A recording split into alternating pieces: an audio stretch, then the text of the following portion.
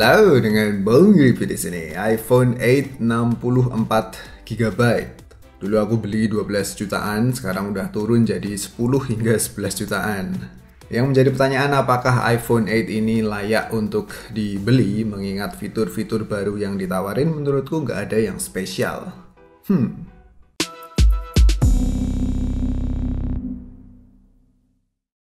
Secara desain tampak depan maka wujudnya masih sama kayak iPhone-iPhone layar 4,7 inch terdahulu ya.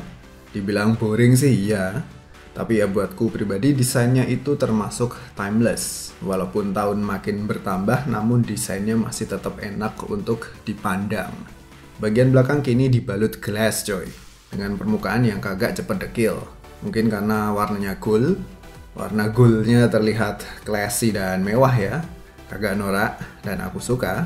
Tampilan belakangnya juga lebih clean dan minimalis. Tulisan Design in California atau logo-logo tempat sampah dan kawan-kawan juga nggak ada. Dan menurutku ini bagus, kagak ngerusak tampilan. Terus, uh, oh ya, glassnya ini sedikit menambah berat pada sang iPhone, sehingga feel-nya ketika dipegang menurutku malah bikin jadi tambah mantap dan katanya sih glass di bagian belakangnya ini merupakan yang terkuat yang pernah ada di smartphone. Wow, tapi aku ragu. Sebenarnya pengen ku banting-banting tapi sayang-sayang duitnya.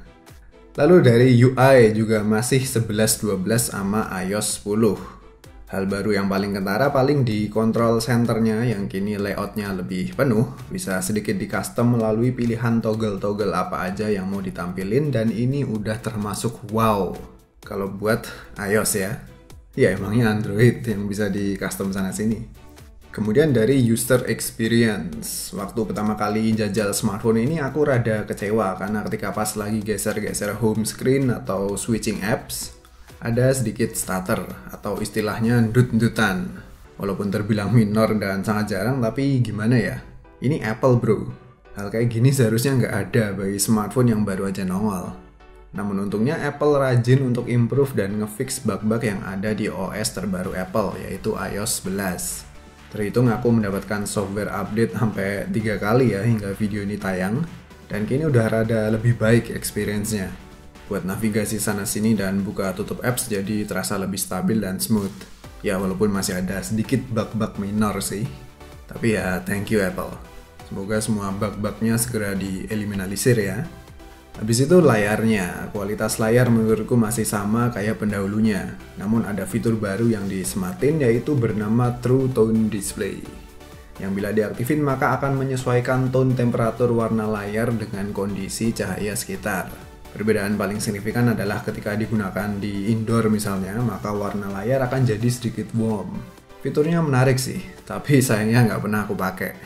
Soal speaker, ya iPhone 8 mengusung stereo speaker di mana audio keluar dari earpiece serta lubang-lubang di dekat lightning port. Kualitas audionya merupakan salah satu yang terbaik yang pernah aku dengerin dari sebuah smartphone.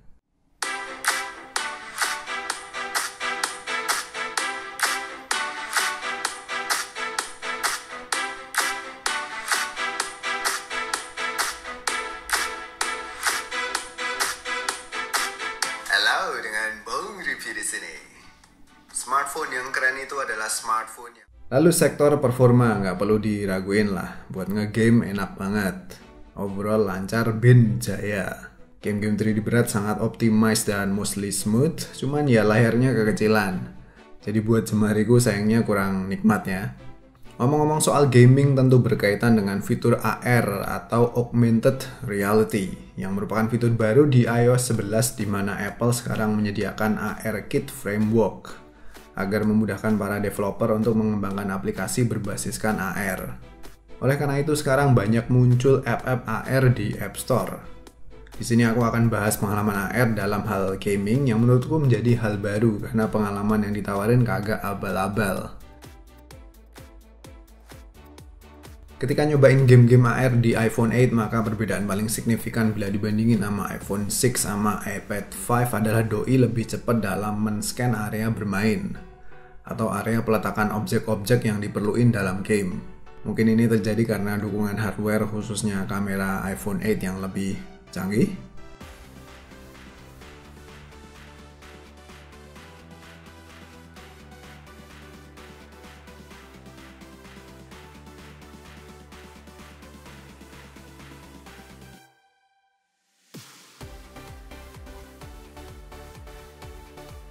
Dan bicara soal kamera, untuk kamera depan maupun belakang jangan harap ada beauty mode atau fitur yang bikin wajahmu jadi cantik atau ganteng. Karena fiturnya sangat minimalis. Fitur yang menarik cuma ada filter-filter warna doang dan hasil selfie-nya sangat apa adanya. Dalam arti wajah akan tampil natural dan kalau pengen cantik atau ganteng ya kudu make upan dulu. Namun begitu detail yang dihasilin sangat baik dengan tone warna yang warm sangat optimal ketika digunain untuk selfie outdoor khususnya pada kondisi banyak cahaya.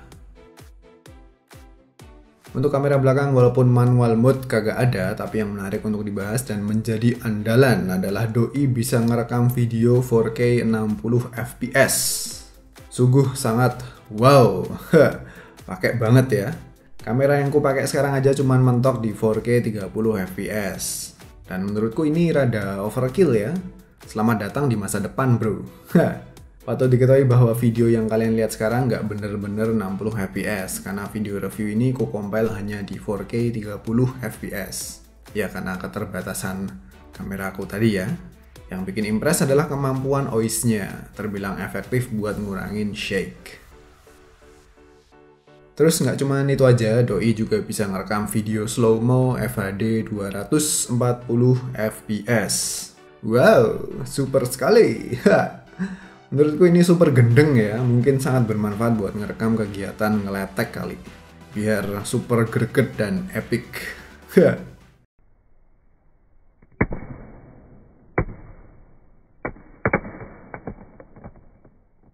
Nah, sekarang kayak gimana kualitas foto jepretan rear kameranya? Hasilnya juga memuaskan, aku impress sama dynamic range-nya sama kemampuan low light-nya. Pada kondisi rada gelap, Doi masih mampu memberikan detail foto yang apik dengan noise yang minim. Selama aku review banyak smartphone kayaknya baru iPhone 8 yang punya kemampuan low light yang lumayan dapat diandalin.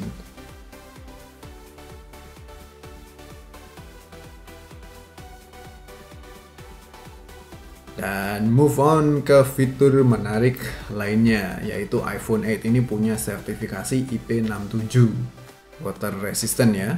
Terus bisa juga fast charging sama wireless charging, tapi menurutku rada konyol.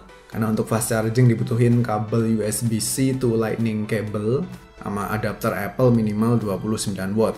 Dan uniknya keduanya nggak tersedia dalam kemasan. Kudu beli coy. Begitu pula dengan charging padnya buat dipakai wireless charging. Juga dapat dibeli secara terpisah. Ya, namanya juga Apple, brand prestis yang ditujukan bagi wong sugih beli ini itu seharusnya nggak jadi masalah ya. Kalau buatku sih jadi masalah.